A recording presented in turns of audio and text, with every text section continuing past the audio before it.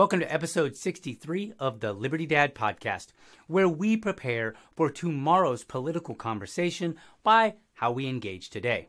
If you're new to the show, liberty represents the message of all your freedom all the time, and dad represents the delivery, recognizing tomorrow's conversation with my son is determined by how I engage with him today, and then applying that to those around me. I'm your host, DL, and this is an interview with the chair of the Los Angeles Libertarian Party affiliate, Angela McArdle, who has started her campaign to run for chair of the LNC, the National Libertarian Party, for my non libertarian audience. Again, as I said in my interview with Josh Hlavacha, who was successful, by the way, in his run for vice chair of the Libertarian Party of Florida just this last weekend, I am supposed to be on break right now, and that break is intended to allow me to work on some changes for season three of Liberty Dad. Some changes that I think people will enjoy. But I have some outstanding commitments to complete, and a few opportunities have popped up, so here I am. In this interview, I aim to ask Angela some tough questions. You be the judge with that. And for now, let's dive right in. All right, welcome everybody. I've got Angela McArdle here, and we are in Florida, Lakeland, at the Libertarian Party of Florida's convention. It is Sunday. We are wrapping things up. Good afternoon. It is now noon o'clock. How are you? I'm doing great. Thanks so much for having me. Awesome. So I asked Angela if she would come on the show, and I'm going to be honest with everybody. I have not seen any of the other shows that she has been on, so I hope that none of the questions that I have prepared are going to be anything that you've heard before. I did tell her that I was going to ask some very tough questions. So, or at least in my mind, they're tough. You be the judge. Let's get started with some easy stuff, though. You're running for chair of the LNC. What motivated you to run? And it feels to me like it's, I'm, I'm relatively new to the party, but it feels early to announce a run. Is it early? Yeah, I absolutely announced early. I actually announced in November of 2020. Okay. And the reason I announced early is because of the National Libertarian Party's failure to rebuke the lockdowns. Okay. I saw people just absolutely losing faith in the party, and I was like, member- membership is gonna hemorrhage. You know, we're gonna tank. Right. And I talked to several people, and I was like, if I ran for chair, would you stay in? And they said yes, and I was like, I'm gonna do it. You know, the timing is right. I said I wouldn't do this until I had been chairing the county party and active on California for at least a few years. I had Mm-hmm. the experience under my belt, and I was like, time is now. Let's do it. Gotcha. All right. So that's that sounds pretty interesting, and I think that uh, that leads into my first question. So, as chair of Los Angeles, tell me about the growth uh, that you've had and the work that your affiliate has accomplished under your leadership.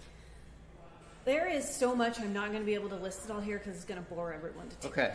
I Don't be will- bored. I will tell you, when I inherited the party, it was a complete mess.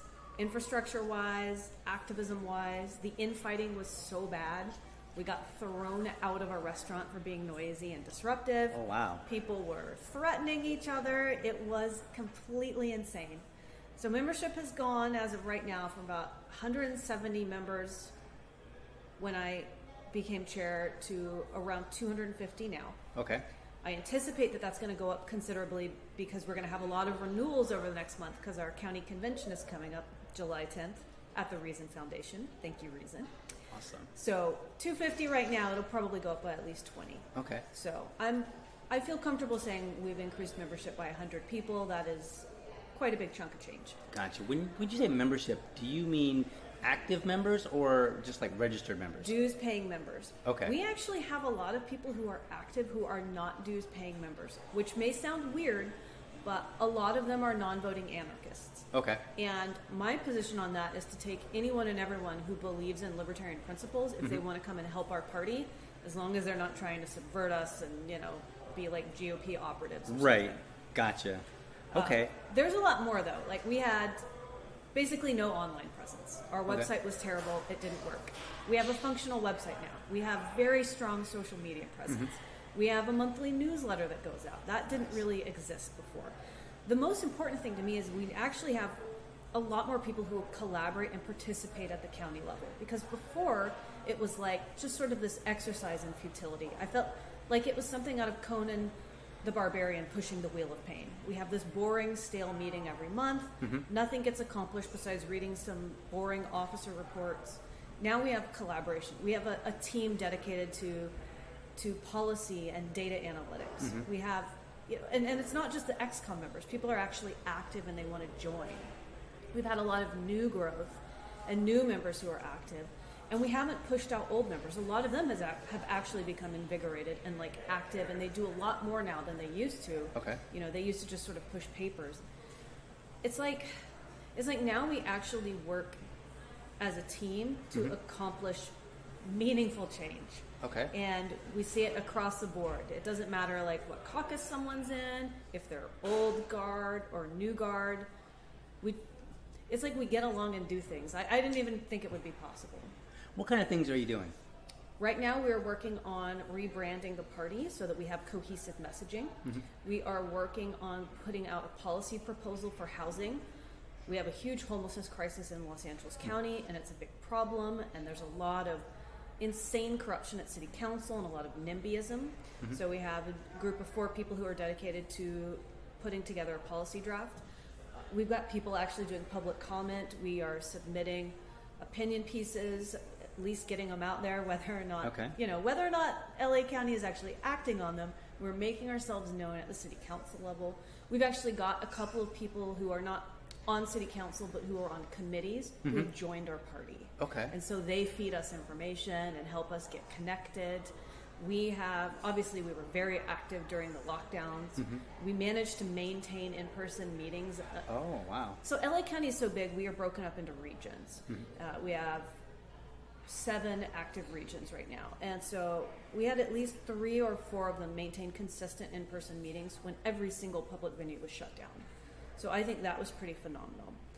Uh, our business meeting is actually online, and that has been online since I took over. It got rid of all of the infighting, and it facilitated more involvement from people because traffic in LA is a huge barrier to attendance. Okay. It's we would we we had less than half the participation that we have now before we had uh, online business meetings. So now people can get on and workshop their ideas and propose this, propose that. You know, we have plenty of meetings that take place to sort of workshop ideas and like policy teams, but and the most of those take place online too. Okay. So we've had so much activity. There's just there's so much I probably can't even name it. Gotcha. Well, it sounds like there's a lot of things going on out there, and that's great. Uh, I'm the chair in Duval here, up not here in Jacksonville. I like to say here in Jacksonville because I'm usually recording from Jacksonville. But up in Jacksonville, northeastern Florida, is where I'm out of, Duval County, and I'm the chair there. And we're kind of invigorating ourselves, getting going. We've got three candidates that were speaking here at the uh, the convention this last Friday. It was pretty phenomenal. A lot of people are starting to, you know, really look and say, "Hey, wow, you guys got something going on up there." So I'm, I'm really excited, and it sounds like you've got something similar. So I'm, I'm curious, what other roles and challenges have you faced in the LP anywhere? Oh man, so many. So I became state party secretary in California in 2018. That was huge because California is the biggest, the the biggest uh, libertarian party state affiliate within the country. So it's a, it's a massive job. It's like 20 hours of work a week just to just to maintain. That's not even to go above and beyond. Okay. So that was really challenging. And I was quite sick during part of that year because I have Crohn's disease. So I did a lot of work from the hospital. Oh wow. But uh, there was one period where I was hospitalized, I think, for two weeks, and I didn't miss a single meeting. It was kind of ridiculous. But I was able to just attend everything remotely. Uh, so that was really challenging, but I made it work. Uh, thankfully, my health is a lot better now. And Good to hear. You know we've had some we've had some conflicts in California. We've mm-hmm. had some membership expulsions, and I've had to deal with that and try to do it with as much decorum and grace as you possibly can. But we made it work. Mm-hmm. I would say that we've had we've had some infighting at the state level too, and we've had some conflicts. Mm-hmm. And one of the things that I really like about California is that we're generally able to put any fighting and conflict over elections aside and just continue to work with each other. Mhm. And I think that it's like it presents a, a real challenge because people's feelings get hurt, or they feel resentful, or they feel betrayed. You know, why did you endorse this person and not me? And at the end of the day, you just have to be an adult and you just suck it up and put it behind you and work together. And I have encountered that a few times. Okay. So many, so many things, you know. Right, right. No, I'm sure there's a lot. I mean, we've had a we've had a few interesting moments in Duval. Florida had some interesting moments, some really interesting moments. Actually, they were subsiding just as I started to get involved at the at the local level, and I wasn't, you know, I was only hearing a little bit of what was going on or what was, you know, ending and kind of on its way out um, at the state level. So, I fortunately did not have to experience any of it. It can be very difficult when you come in as a person like me because uh, when I came in, I wasn't super excited to jump in and do things necessarily, but I did want to get in and get my bearings and then eventually get involved in stuff. And the challenge that I've seen is that I mean we had a few rough personalities in the LPF after I got in there, and you don't always have the history. And it, for me, I don't like taking sides until I've given somebody an opportunity, and it doesn't matter who they are. And I've, I've as I've entered the fray, I guess, of national level politics, you know, between different states and whatnot, I've had that same challenge, you know, and, and it's very interesting. So I'm glad that I was able to to not have to come in while the you know while all hell is breaking Yeah. loose, because that would have been very very frustrating. And I could see where a lot of people, even people like me, would have said, "Nah, this ain't for me," you know. So so it's uh, I, I guess it's stuff that's there, but we got to work through it. Yep. So you're, you're getting ready to run for, or not you're getting ready, but you are working on running for LNC chair. And so one of my questions is, uh, you know, I have several questions, and as we go along, the questions I think are going to get a little bit more challenging. Um, again, you be the judge, but uh, what successes or anticipated? If you heard that, folks, that is thunder. That is our nice Florida rain coming in. But what successes or anticipated successes are you looking forward to building off of the current LNC chair or any previous one for that matter? I am hoping that we get as many states their ballot access back Okay. as possible. How many lost? Was it two? I, I think I'm at two my, in my count. No, it was it was possibly up to 18. Oh, wow. Now a lot of them have reclaimed it. Okay. So I'm not sure what the count is right now, but there are lawsuits. I'm like New York is still waiting. Okay. So I am hoping that New York maintains their ballot access. They're in the midst of a lawsuit, and there are disagreements about what direction that lawsuit should be taking and Mm. arguments they should be making. Gotcha. So I'm hoping that that gets you know resolved Right. beforehand, and I'm really hoping that the CRM program gets adopted more throughout the states. There are a lot of states who use national CRM. That's actually a project of the vice chair, Ken Moellman. Okay. But I am really hoping to have that integrated. You know, California, we don't use the CRM Mhm. because we have a more complex affiliation um, option where people who live in one county can affiliate with another, and the national CRM is not able to accommodate that yet. I'm hoping they will be, and I have definitely raised that concern, and um, yeah, so that's being worked on right now. Hmm, what else?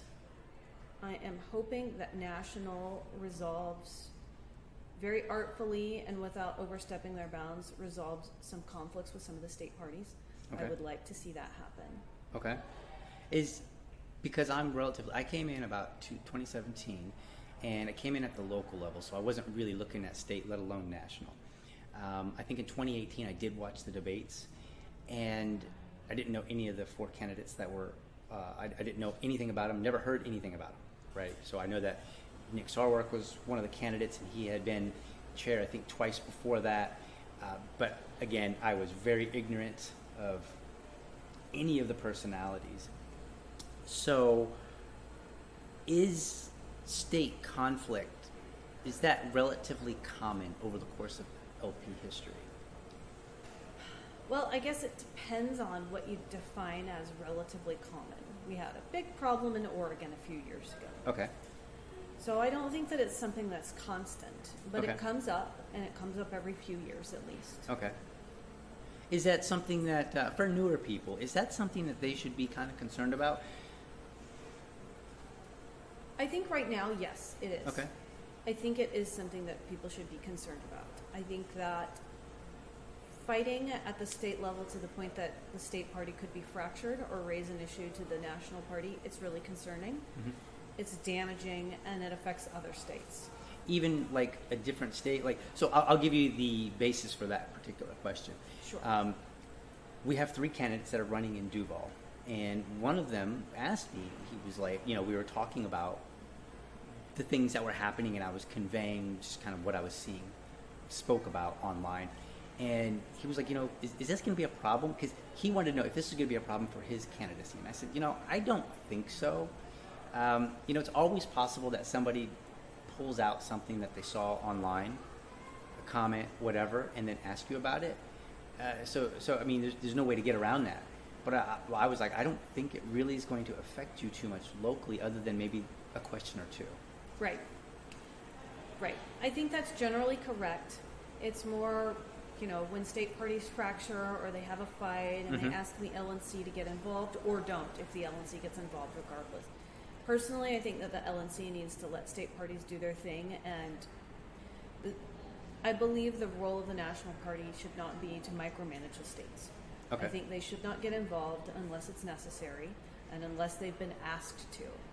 Okay. So, you know, that's something that I hope National will have a good handle on. Okay. And even though there are some potential conflicts right now, I hope that it gets ironed out and that it's not something that carries into the future because it sets an ugly precedent. Right. Once, once the LNC starts meddling in one state, sometimes you can have unhappy people in another state say, "Ah, I Right. see what they're doing. I'm going to use that to my advantage," and Right. it sets off this tidal wave of everybody begging the LNC to do whatever it is they want the LNC to do. Right. And that is not the good way to manage a grassroots bottom up organization.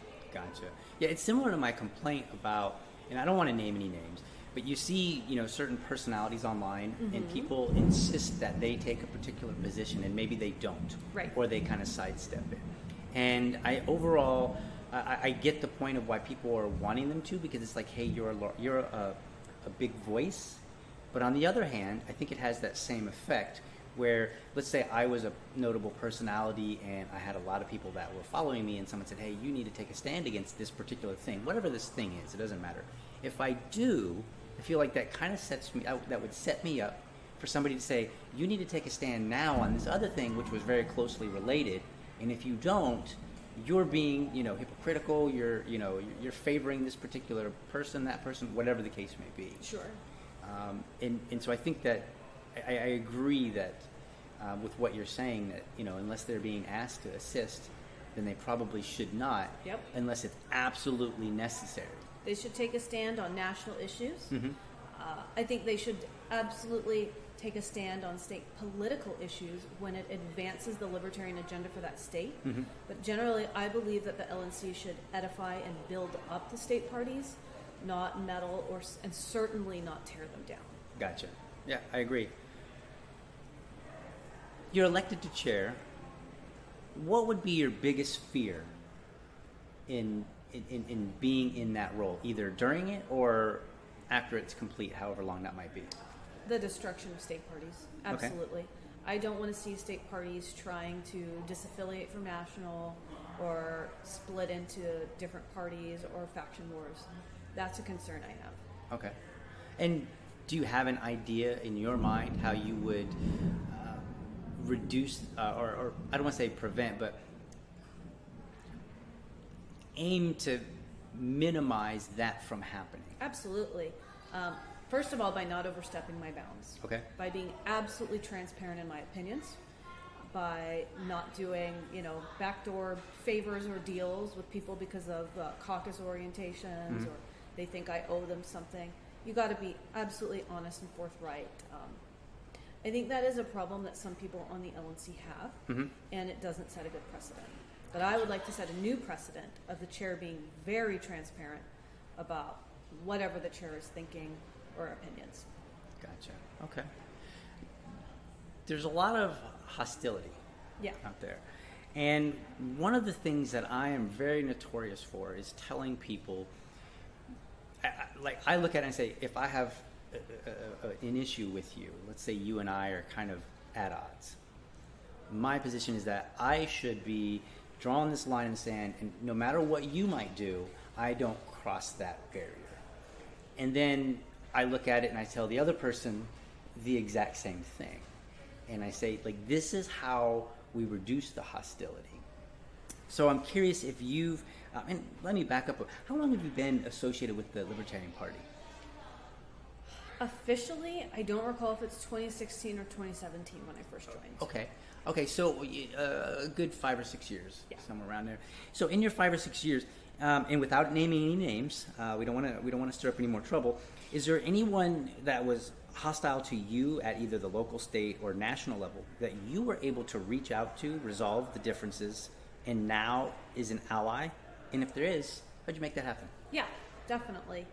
I think that one of the one of the best skills I have is being helpful to people Mm-hmm. and not holding grudges. Okay. So yeah, there was there was an issue at the 2019 in the California convention where I was I was very angry. Mhm. I felt that people had mistreated me publicly, undermined a lot of the work that I had done as secretary, and it really made me disgusted. And what you have to understand is like, okay, we're the Libertarian Party, we're the party of principle, Mhm. we, we stand for X, Y, Z, but we're made up of imperfect people. Right. And you have to be willing to forgive people and you Mhm. have to be willing to let things go. And I think that my ability and very publicness and openness about being able to let things go makes people feel like they can work with me if they make a mistake. Gotcha. Uh, and, and it's true, like I just don't stay angry very long. I might get really mad in the moment about something and, uh, you know, and maybe within 15 minutes I'm over it. Okay. That's just how it is. And if someone needs something from me, if they need help growing their affiliate, that's Mhm. like a big one. I'm going to help them. I don't care if they've been a little bit of a jerk to me in an email or publicly at a convention or whatever, because that's just not what this is about. Okay. It's not about scorekeeping or who was rude to what. There are a lot of rude, coarse personalities in the Libertarian Party. It is what it is, right? And I think as a leader, you have to be willing to accept that and, and move on. Okay, agree. Um, do you feel like you've personally done a good job? And this is not going to be something that anybody could necessarily argue with you on, because I'm thinking like just internally in your own thoughts. Do you feel like you've done a pretty good job at what you just said, forgiving other people, even if they haven't really stopped their that, that behavior, if they've just kind of continued on, or maybe they didn't ask, you know, like seek out and say, "Hey, I apologize" or anything? Think you've done a pretty good job? Yeah. And I think forgiveness isn't about whether or not you're going to grant someone else certain set of rights. Mm-hmm. It's really, for me, it's about me and my ability to let something go and my mental health and like whether or not I'm a mature adult. Okay. I think that that's really what forgiveness is about. Yeah, there are certain things that have, uh, you know it's difficult to forgive someone for. I haven't encountered that yet in the Okay. LP. Well, let's hope not. Let's hope you don't come across that. And if it does, I still have to be professional and, Right. and maintain that professionalism and work with people if I have to work with them. It doesn't mean they need to be my best friend or I have to invite them over to dinner, but I need to respond to their emails. Mhm. And I need to, you know, if we're assigned to work on a project together, I have to do it. Gotcha. I don't think it's that complicated, but when there are a lot of people involved and emotions are running high and there's all this like arguing on social media, I get why people get dragged down by it. Right. So that's a great segue into my next question. And to give a little bit of background here, uh, I want to lay some foundation for it. So several years ago in Jacksonville, the railroad company CSX brought in a new CEO, and he made some radical changes. And it kind of sounds like you want to also make some radical changes as well, or at least in some. For, for some people, it will be radical, right? Maybe it won't be necessarily. I don't think it's going to be as radical as what he did. I don't know if you had even heard about it. Probably not, because you're out in California. But they were pretty radical. Um, and some months later, uh, there were some news articles that were highlighting some delivery problems from the railroad. And the CEO said this, and I'm, I'm quoting here. He said, This resistance to change has resulted in some service disruptions. And End quote there. I objected, saying that as a leader, his plan should have considered that resistance and that the failure actually lay on his shoulders. And then I also objected, it really came across like I'm the leader, but I'm blaming all the workers. It's their fault for not engaging in my vision that was so great and, and, and wondrous. So if, if you're elected to chair of the LNC, it, it feels like just from watching things online, it feels like you're all but guaranteed to have some level of resistance. And so, how will you prepare and lead the party to be successful and implement your vision, knowing that this resistance is probably going to come? Oh, well, you got to change the culture before you can institute any radical changes if you want anything to stick. Mm-hmm. So, the first thing that I've done is already laid the groundwork to establish good relationships with the people who are already on the LNC. Okay. I ha- not every single one of them. There's a lot of people. Right. But I'm already in very active communication, you know, with, with Ken Moellman and with Caryn Ann Harlos and with a handful of other people. I reach out and make phone calls. I want to talk to them and see what's going on. What are their concerns before I start trying to push something else? Okay.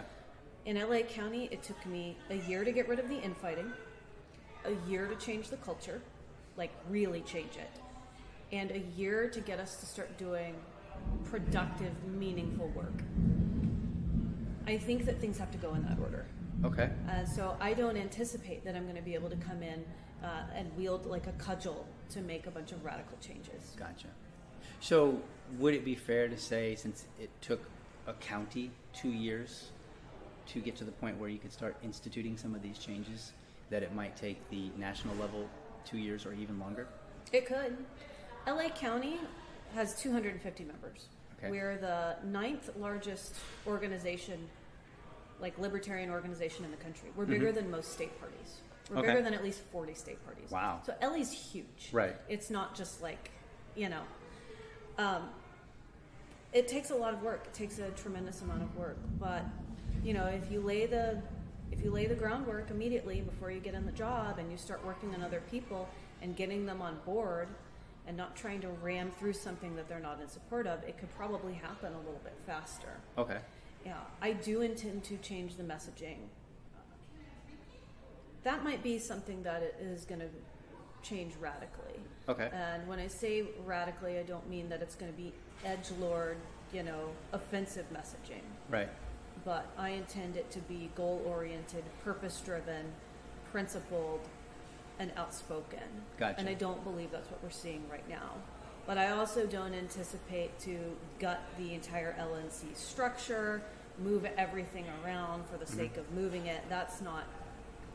Sure, there are things that, like that that I'd like to do, but it, the reality of it is that that's just not fruitful or productive. Right. You know, I, we have to make incremental changes so that they stick. So, bouncing off that, do you have any off the cuff examples of this is the kind of messaging we're getting now? And you can make them up. I mean, it doesn't have to be an actual one. Uh, but this is the kind of messaging that we're getting now, and this is what I would actually like it to say to kind of uh, get a get a. And I, I would like the because it seems like it's either edge lord or maybe Yep. boring, Yep. and so I'd like to see what that in between sounds like. Absolutely. So I have a media team in the California Mises Caucus, Mhm. uh, and it's compo- it's composed of professional people who work in the media, arts, and entertainment industry, and they did interviews with small businesses Okay, uh, who were affected during the lockdowns. I remember seeing that. They are very heartfelt. They are very compassionate, but they are very against lockdowns. That is the kind of messaging that we need. Does it offend people? It does not really offend libertarians. I'm sure there are some people out there who are going to clutch their pearls and say you should stay locked down. But we, when you interview a business owner who's crying and saying that you know her life's work, her family business is being shut down, this doesn't seem like it's helping people. It's Right. harming me. That's really tough to argue with Sure. and it's very bold and it's and it's pretty unapologetic we're not Right. saying sorry we just you know eh, maybe lockdowns like it's saying lockdowns hurt people that's the kind of messaging i think we need at the national level so i've already got those examples out there Gotcha. So yeah, so it sounds like then the messaging is a lot less, you know, me just kind of using as an example, like me going out and trying to type up something that's uh, catchy, and rather instead of instead of us speaking, saying, let's hear from the people. let's hear from the people when we do you know, type up our tweets or Facebook posts or whatever. Mm-hmm. It needs to be done by people who are skilled. Right. We need skilled messengers. We don't just need people who are fired up and passionate. Right. I love people who are fired up and passionate. But sometimes, you know, if you're not careful, sometimes people fly off the rails. They make honest mistakes. Right. And I'm sure there are still bound to be a handful of mistakes because Oh, we're yeah. imperfect people, right? Right. And you can't expect perfection. But we can be careful with who we select. We can look through people's like social media history, for example, and be like, this person is a great example. Like I already have like a handful of people in mind who I'm Okay. like, okay, so your messaging isn't offensive, but it's bold and it's unapologetic libertarian messaging. This is what I'd like to see at the national level. Gotcha. You know, I like to tell people, um, it, you. I feel like there's this argument where it's either bold or unprincipled, and then bold tends to come across as edge lord, as you said a Right. moment ago.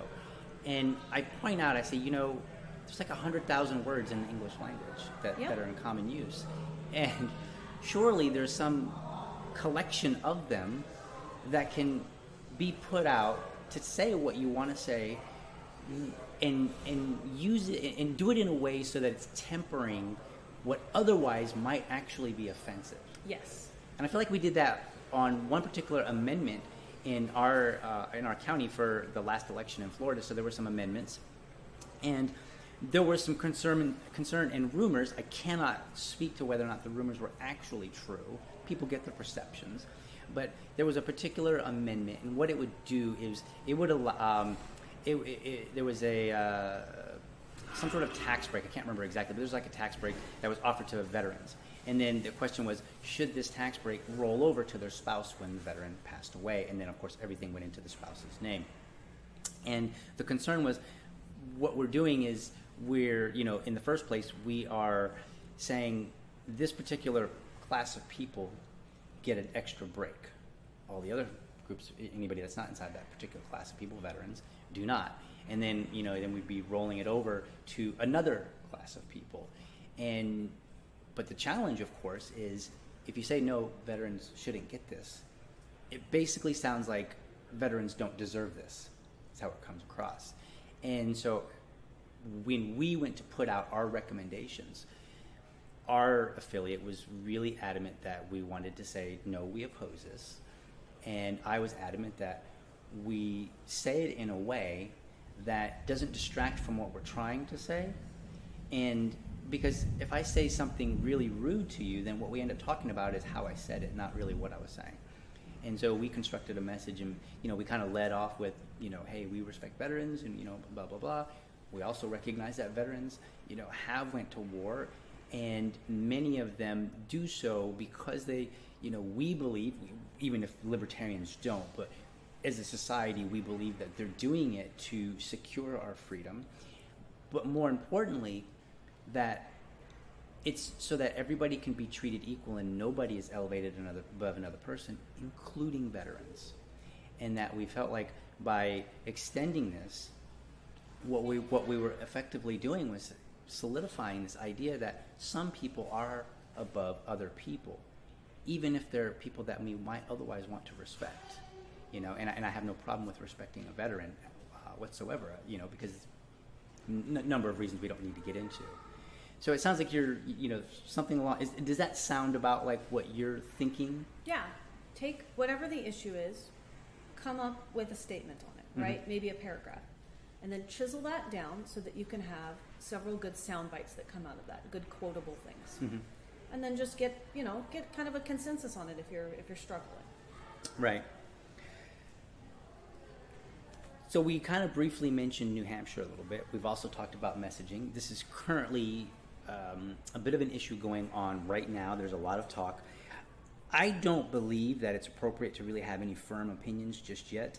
It doesn't seem like that. Uh, it seems like a lot of people still have a lot of unanswered questions, or at least a few unanswered questions. Um, but I do have a question about the oath and I- I'm- I'm assuming that you probably read it.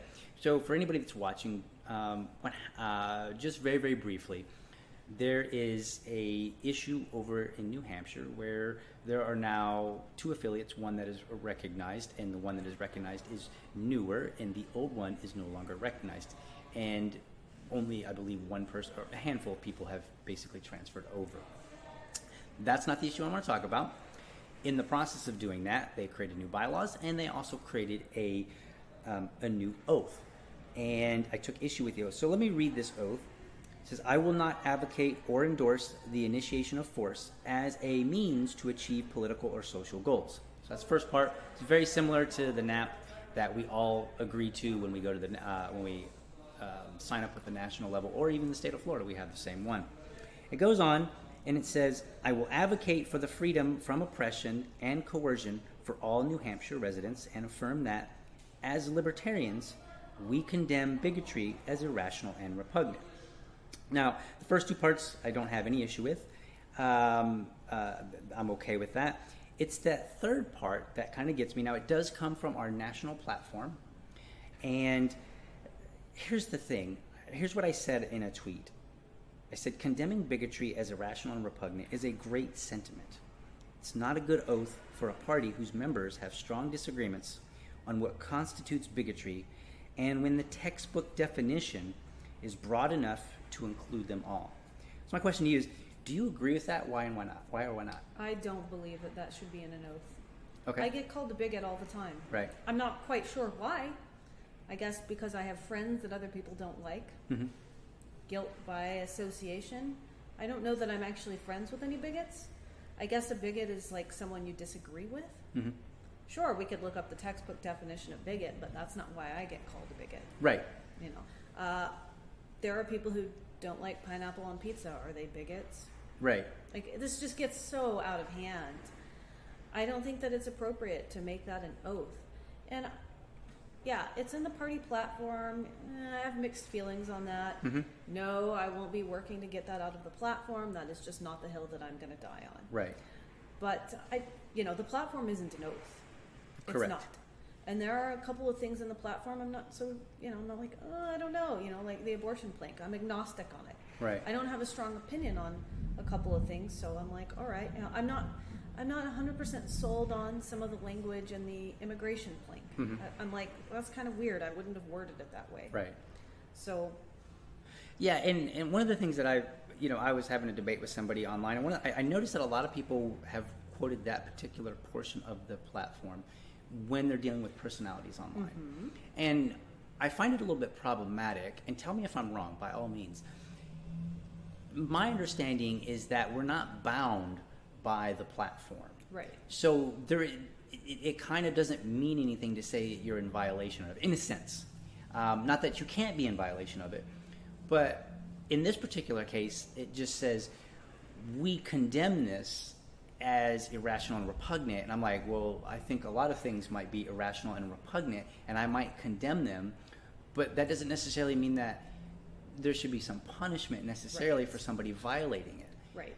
And then the other point that I made, and I don't remember which year it was, but I went back and I was looking at some of the old platforms, and it didn't used to. I think that's the particular item that did not used to be in there. Correct. And so I look at it and I say, it's kind of hard to really, you know, suggest that anything punitive should happen to somebody for violating it, whatever, however that means, however anything is defined, when one, um, you, you know, in in one um, national uh, business meeting, it's present, and then the next one it's not, which to me means that the platform can be changed. Right. And so if I disagree with it, Yeah. Well, that's the only way that it can be changed. Somebody somewhere along the line said, hey, we should add this in. Apparently, the delegates, I assume, agreed with it because it is there now. And then in the future, delegates might say, hey, you know what? Turns out this is causing more problems than it's, you know, than it's benefiting the party. Maybe we should remove it because people are, you know, kind of using that as some sort of pretext to say mm-hmm. something about someone's membership or their mm-hmm. libertarianness. And, you know, so am I wrong in thinking this about the platform? No, I don't think so. I mean, there's some there's some bigotry that I don't think is irrational. It's Okay. just something I disagree with. Right.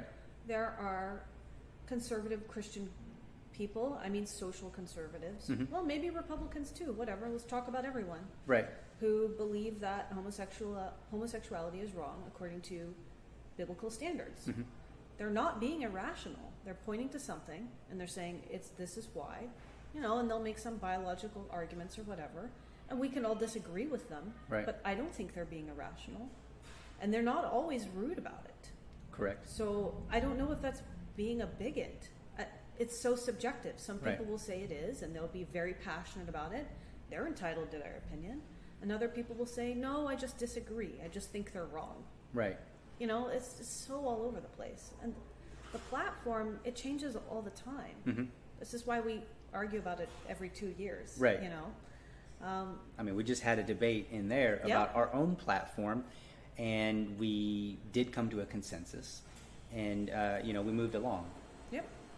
Yep. California, we made seven or eight changes to our platform at our convention last month. hmm That's just that's the way it is. Um, yeah, I don't know. I just don't think that's a wise move. I think that making an oath out of part of the platform, especially that part, is sort of inviting cancel culture hmm into the Libertarian Party and uh, literally canceling people Okay. over maybe an out of context screenshot on social media, Right. a meme that everyone laughed at. Sure. You know? Is there one in mind that you're thinking of? Oh, there's like dozens. Okay. There's like so many, you know. Right. It just it happens all the time. People will in bad faith take a comment that was a joke or just out of context or maybe you're quoting someone rhetorically and they assign that to you and, Mhm. and then it's like, "Oh, let's cancel them," you know. And now it could be let's cancel their membership. right. And that just doesn't seem like a good leadership move. The the concern that I had is that and let's just use you and I as an example. Let's say that you did something and, and we have that oath. We're in the same state. We have that oath. We both have agreed to it. And then you say something that somebody else deems as a bigoted statement. And then I look at it and I say, actually, I don't think it was a bigoted statement. Well, then I'm not condemning you for that. Right. And I feel like it puts somebody like me at jeopardy Mm-hmm. even though I actually didn't say it, I may not agree with the you know some some of the what you know whatever you said. I might just say, oh, you know, I disagree, but I don't think it was bigoted. Right. And I feel like it puts me in a position to have to defend my membership Yeah. to somebody else because what if the group, the larger body of the group, said, no, we believe that it was bigoted, and since DL is not condemning it, he goes out right along with you. Right. And, and I feel like that's the big concern. It starts a big witch hunt. It does. I, I think so. I think so because it's basically telling people that you have to react in a particular way when somebody else behaves in a particular way. Mhm. But the problem is it's not really a particular way because it's really vague and open. What does it mean to be bigoted? I I had a debate with Archie Flower on on you know. Um, uh, so my podcast is connected to uh, Free Speech Media Network. It's just a group of podcasters that got together and said we're going to have this little network. And uh, one of the gentlemen uh, had his own podcast where he would basically bring on people and debate. And I debated him on you know the issue of bigotry. And I think that people that are taking an issue with bigotry have some wildly wrong views. Yep. Uh, not that, not that I always say that. Hey, that's an okay thing to say, um, but more along the lines of like, what should we do about it? Right. And I think that's what gets me. If we weren't talking about what we're going to do about it, like, are we going to kick you out, you know, or are we not? You know, we, we're going to force you to to agree to this, you know. And it's funny because the very beginning, and, and, and tell me if you agree with this. The very beginning is the standard uh, non-aggression principle pledge, which says, you know, I agree that we won't use force to uh, further social or political goals. Even that's subjective. It is. What does it mean to use f- force? There's an right? argument about it right now. We know what it means to use, like, say, physical force. If I punch somebody, most everybody's going to agree. But I feel like mo- I feel like more people agree with that particular sentiment than do the the last one, which is the bigotry one. And there's even a debate over that. Yep. You know, to what extent does that mean?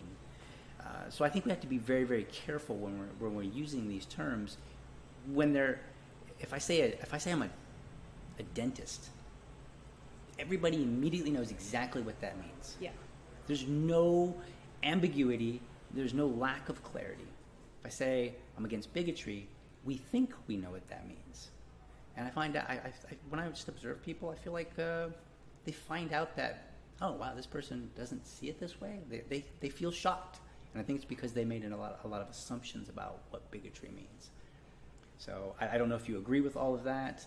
Yeah, pretty much. I mean, I think free speech is a very important concept. Mm-hmm. I'm not talking about the First Amendment. I'm Right. talking about free speech, just the concept of it. Right. Uh, it's what we use to form ideas, to sort of kind of stumble around when we're trying to come up with something, and to say things that aren't actually that great, and then to get corrected, Right. and to learn and to grow. Right. And when we start instituting these thought crime policies, it pushes all of that underground, it Mhm. stifles it, and we don't know what people are thinking because they're afraid to speak out. And then if they do have an idea that's sort of ill conceived or, you know, we think they're wrong about something or Mhm. could be refined, we don't have the opportunity to correct it. Right. And it also creates a culture of fear, and then we're mistrustful of each other. Right. So I think that we need to be more generous with people's speech, you know, Mhm. and we don't need to thought police people's memes on social media. We don't need to clutch our pearls at every offensive thing. Right. We need to just be adults and talk about it and not call each other names and, and bigots just because someone says something that we deem inappropriate. Have a conversation about it instead. Right. You know, I've noticed, that in you know, I get online and I um, I challenge pretty much everybody. It doesn't really matter who you are. Um, I've challenged, you know, people that are on the the, the Mises Caucus side, if you will. I've challenged them online in private com- communication. I've also challenged them in person, to their face. I make it a rule that I try not to say anything online that I wouldn't say to your face. Um, and the other thing is, I feel like you can challenge somebody, even pretty significantly, and still gain their respect. Yes. And I've done that where I don't really want to name any names. I don't like doing that. But there was a um, there was a particular situ- I don't want to say situation. There was a particular um, uh, time where somebody was kind of relishing an event. And I said, I don't think we should be relishing it. I think we should just say, look, these are the things that happen. You know, sometimes people reap what they sow. We need to move on. And the person was upset with me. And they were like, but they were upset with me in a in a way that wasn't it, it wasn't rude, it wasn't insulting, it wasn't like, hey DL, you're a terrible person, I can't believe you. It was just like more, come on, man, really? Seriously? Like this was my opportunity to feel a little bit good about this past negative situation and you're taking it from me. Okay.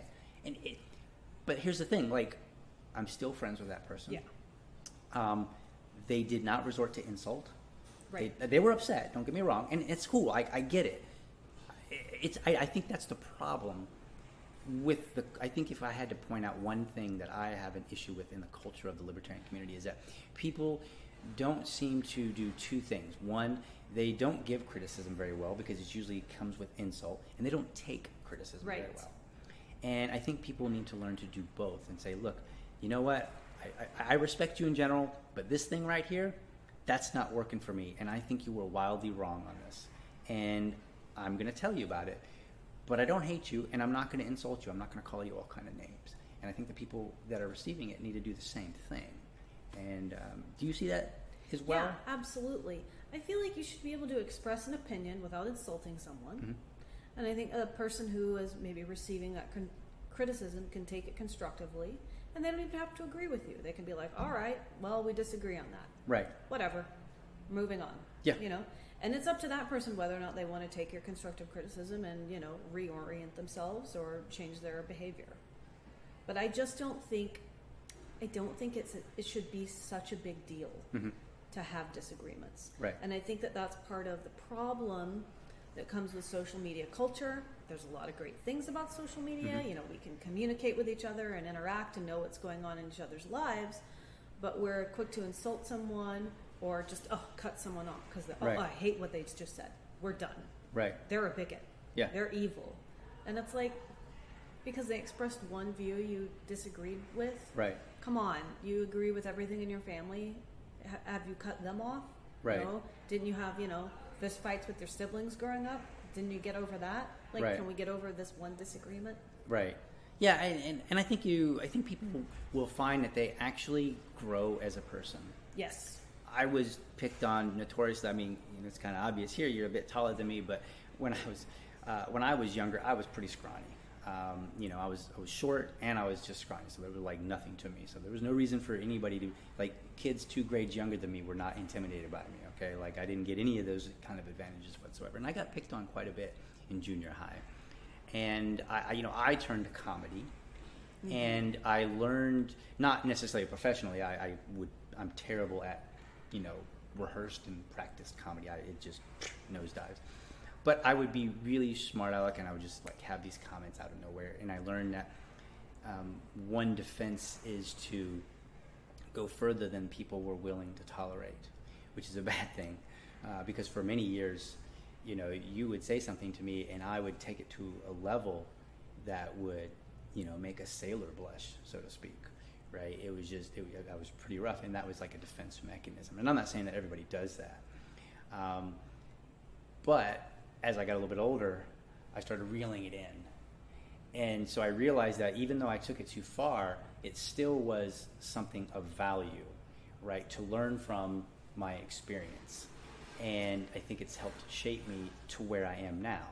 Um, I did have to, you know, I unfortunately did go too far and then I had to come back.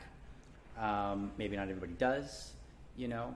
Uh, but I think these things are over. And I don't want to, please don't misunderstand me. I'm not saying bullying is okay. What I'm saying is, I think we need to start looking for opportunities for growth in our own selves Yes. first. Yes. You know. I, I'm a big fan of the Jordan Peterson trope clean up your room. Yep. You should work on yourself and try to get your own affairs in order Mhm. before you start going out condemning other people Right. and trying to change their minds or even trying to change your organization. Right. Uh, and, and I think that's the best way to affect change too, is to have yourself sorted out. Gotcha. Do you feel you have yourself sorted out? Well, you know, it's a work in progress, but it is Okay. something that I have actively worked on since about Okay. 2016. Uh, um, I've been very mindful of that. Some of the things that I have worked on for my own personal growth are to be very honest and forthright with people. Mm-hmm. I used to care very much what people thought about me, and I wanted to please them and not have anyone be mad. And I have learned that being direct and very honest with people is very disarming, and that people actually appreciate it because everybody will tell you what they think you want to hear, Mm-hmm. and that's actually not beneficial or edifying to someone in the long run. Right. People deserve to hear the truth. It is good for them. Gotcha. And you do it in person? I do it in person. Okay. Uh, All right, fair enough. Straight to someone's face. Gotcha. I mean, I, I don't know. I've got this weird thing where, you know, I, I said it earlier. If you wouldn't say it to their face, you should not say it. online. Correct. And that comes from a few punches in the mouth when I was younger Yeah. for saying things that I should not have said. so I learned the hard way. Uh, I don't wish it on anybody, but uh, you know, it was a good lesson. Yeah. It was an unpleasant lesson, but it was definitely a good lesson. This is what I mean. Like these negative experiences can be beneficial if you Right. allow them to be. Yeah. Um, you know, and again, this is not an excuse for bullying, so this is not what I'm saying. Uh, that's an entirely different topic that I, you know, one day maybe I'll sit down and, and, and do a podcast on that. But A couple other things I've had to work on that I think translate into the Libertarian Party is I did work on literally cleaning up my room. Okay, I got rid of like half the stuff I own. okay, I, my house was a mess. And I was like, this is cluttered and this is terrible, and I need to focus on what's essential to my life. And it gives you a lot of like clarity and Mhm. vision about what you want your life to look like, right, uh, the environment that you want to be in, what you want to be surrounded by, like literally, physically. gotcha. I cleaned up some of my friends. Mhm. I found that I had frequently surrounded myself by people who would drag me down, Mhm. and I was less productive and struggled to get things done because I had friends who were just like a mess. And I didn't have to cut them off in some dramatic way because I don't think that that's particularly a nice thing to do to someone, but I just had to gently let some of those relationships go. I've also had to learn to be more organized. I am very much a right brain creative person. I'm, you know, used to being kind of scattered all over the place, coming up with ideas, and I had to learn to sort of rein that in and master it and be good with spreadsheets, be good with documents management, pay mm. attention to detail, be good at proofreading, planning things, mapping things out. And those are all skills that are really good for you personally, but they translate really well to organizational structure and success. Awesome. Well, that sounds great. I don't have any questions. You got anything further that you would like people to know? Yeah, if you're interested in following my chair race for national, you can go to angelamcardle.com. I put up a lot of information on that site. I also have a Patreon where I post most of my uh, convention speeches and a Substack where I post that as well. And the LA County Convention is coming up July 10th. If you're in Los Angeles or nearby, you're welcome to attend. It'll be at the Reason Foundation at 12 p.m. And if you want to join our Libertarian Party, you can do that at lplac.us. Awesome. Well, thank you for being on the show. And that's a wrap, folks. I hope you really enjoyed it and got something out of it. Thanks for having me. Awesome. Thank you. That's all for this episode. I hope you enjoyed the interview and got something useful from it. Drop me a comment from wherever you are watching from, or hit me up on Twitter at LibertyDadPod. If you're watching on YouTube, be sure to hit that subscribe button. And make sure you check out other associated podcasts over at facebook.com forward slash free speech media network. And remember, if you're champion of liberty, your business is people and your product is liberty. Have a great week. Catch you next time, and I'm out.